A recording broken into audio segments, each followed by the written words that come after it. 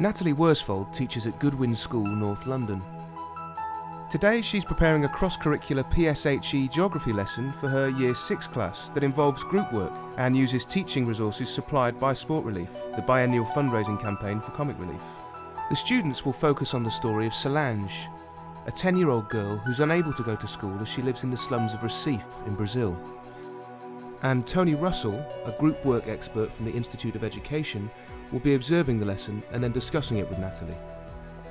How can group work be brought successfully into typical classroom activity? And just how effective is it to have children working together as a group?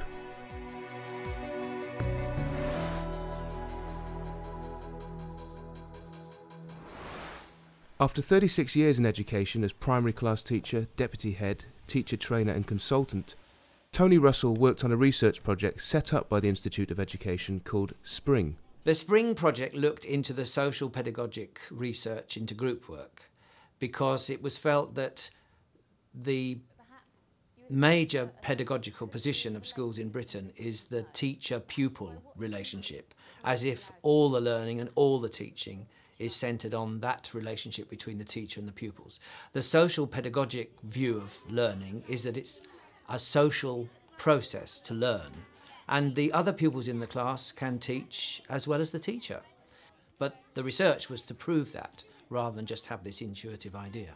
This research was aimed at getting the children both to sit together and to work together on collaborative tasks, not individual tasks. The researchers collaborated with the teachers, and it was through what the teachers were telling the researchers that the activities were developed. Natalie has used group work in other schools and was keen to introduce the approach to Goodwin School too. I've used group work the whole way through. Group work encourages teamwork and cooperation, which are all things that I think they need to go later on into the world.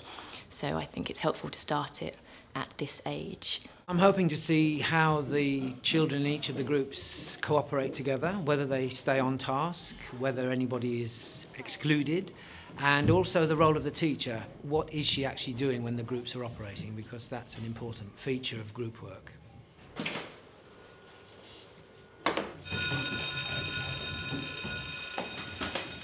To start off our lesson, what I'd like you to do is actually use your brains and in pairs I'm going to give you a couple of minutes to have a think about anything you know about the country Brazil. Okay? Don't forget, Elia and Olivia, you're working together. Peru is next to the Brazil. Is next to Brazil. The rainforest. Zach, what view will come up with? It's a hot country and there are rainfalls. Okay, good. Vienna and Vikram. Many people have to beg for food and money. Good. Charlotte and Sophie? Um, it's near Peru and it's in South America. Put your hands up if you agreed it's in South America. Right, what we're going to do now is I'm going to give you a bit of time to actually research some more facts about Brazil, okay, and see if you can find out some more different things about Brazil. And to do that, I'm going to ask you to work in teams. Okay, so Lucy, you are going to be working on the computer, and since Kate helped you pick that colour, then perhaps Kate can work with you for today. Rishi, you're going to be using the information sheet, and I'm going to ask Jonathan and Emily to work with you on that today. Okay, so you're going to be looking at the pictures. Yellow. Good.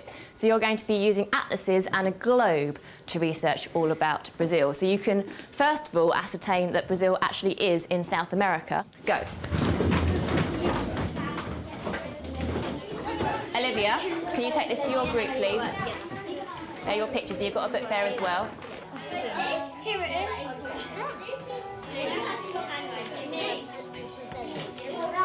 Does anybody else on your table know what it's of? Is it like Brazilian dance? Okay, good. Keep going, keep going with that.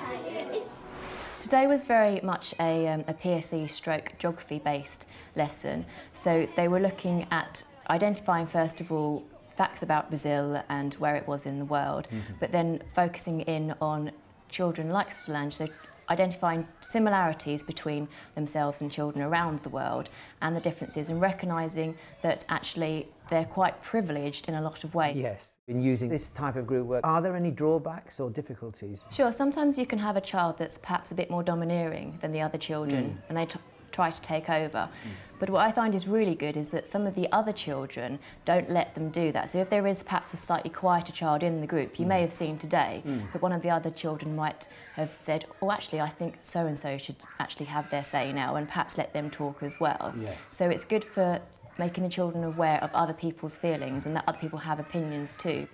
Sometimes you might have a child that gets slightly distracted by being in group work, but as long as you keep the lesson pacey and make sure that they've given them set times for things, it normally keeps them on task. You need to make sure that all the tasks have um, are equally as exciting because if you're doing different tasks for different groups then sometimes the children can get a bit distracted because they, they're looking at the other group thinking I wish I was going to do that so sometimes like a carousel where they actually rotate and they get a chance to do all of the different activities quite a way to avoid that for Tony, successful group work is all about the nature of these activities.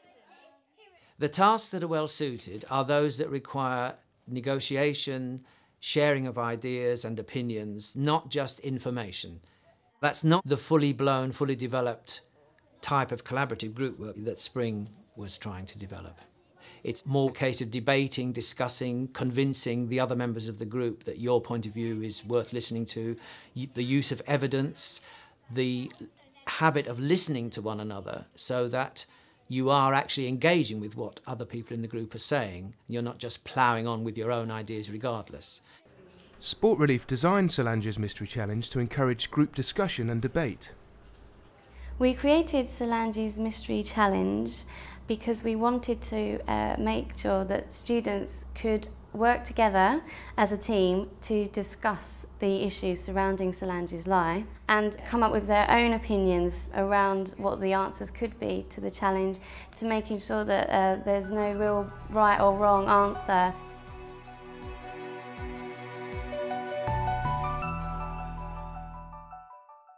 This girl, her name is Solange, and she says she's 10 years old, so the same age as most of you.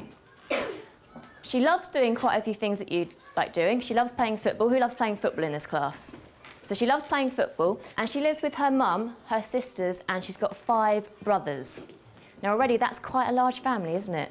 Now we're going to have a little bit of think about Solange today because Solange doesn't actually go to school. I want to think about the challenges that she faces that stop her from actually going to school, okay? And in a minute, in your groups, you're going to have a look at some clues. And these are all clues about Solange and her family. Now, some of them are relevant to your mystery, to your question that you need to solve, but some of them aren't. Okay, so you need to work out which ones are actually useful to trying to solve this problem. Don't worry about what the table next to you is doing. Just focus on what you think looking at your own evidence, your own clues. So this one, this one, Rihanna. Stop taking all the blue out. I think we should put the argument to get everything else in um, separate parts and everything. These are all embarrassed. Yeah, but I don't think these will be embarrassed. She has the pick. Should I write my name? Can I write my? Oh, yeah, do well, do At the end of the task, each group reveal the reason they feel explains best why Solange does not go to school. She also might be embarrassed because her family actually lives in a rubbish dump and it smells and everything. So she might be ashamed of it. There's lots of possible reasons why she might not be able to go to school. Which group thinks now that the, the biggest challenge she faces is actually Solange's family are too poor? Who's, who still thinks that one? The two dangers that exist in this kind of activity were both seen today. One group had the sheet with all the pictures attached, whilst another group was still passing the pictures around and discussing them. You do have particular children that often rush their work yes. and they, as you say, they get to the end before mm. they've really finished, before mm. they've really thought carefully about the task. Mm. And if they have another child on their table that would normally take their time a bit yes. more, it actually slows them down, yes. but at the same time speeds the other child up. Yes, yes. So the, the peer interaction is actually supporting all the types of children, the rushers and the, the plodders, as sure. you might call them. Yeah. Schools and teachers differ in their views about mixed ability, and setting and streaming is very strong in some schools, but that is actually counter to the spring approach, which is that all pupils should learn to respect, listen to, collaborate, and so on. If you're separating children out in that way as a routine, that undermines one of the benefits of the collaborative group work approach. I'd like to ask your opinion about three issues that people focus on when they're thinking about group work. First of all, group work and pupil behaviour. You can have a child in the group distracting the others in the group, but generally, if the children are interested in what they're doing, they'll yes. bring that child back into it. Potentially, group work can improve the behaviour of pupils. And one of the findings was that it was an approach that was suitable in classes of all types. Do you think that actually group work does engage everybody, or is there an issue there? Again, I think that will depend on you knowing the children mm. and the size of the groups. I did use a group of six there, but that would be quite rare for me, and certainly yes. I wouldn't use any more than, than, than eight, no. because then you will have some children not being involved in the task. Yes. But if you're using small group work, mm. that can be very effective, mm. and it's very hard for a child not to be part of the group. Group work and pupil attainment. What's your opinion about that? I think as long as it, you input properly in the first place and gear them in the right direction, this whole idea of questioning at the moment I think is mm. really key. Yes. And I do believe that children should learn to question themselves instead of just absorb knowledge. Mm. this one goes first. Okay, so do you want to stick that one off? What would you describe your role when the groups are operating? I think you definitely need to monitor them. You can't just sit back and say, right, they're working in their groups now, they're going to come to the solution at the end and yes. everything's fine. Yes. You need to go around and make sure they're all on task. And you have to decide which one out of those four you think is the reason that she doesn't go to school. Oh, there's more than one. I don't mind if you put down both of them and provide evidence for both of them. Teachers have to learn to stand back and let the children struggle with a whole variety of ideas and opinions and work their way through to a resolution. It is this light touch, more of a monitoring, standing, as the project says, the guide on the side. Do you ever get the pupils to reflect on their own skills at group work? I certainly do get the children to reflect on their own learning skills, mm. although thinking about how they work as groups is not something that comes up that often. That is something I can certainly do more of. Mm. At the end of the lesson, the video resource is played to show the class the reality of Solange's situation.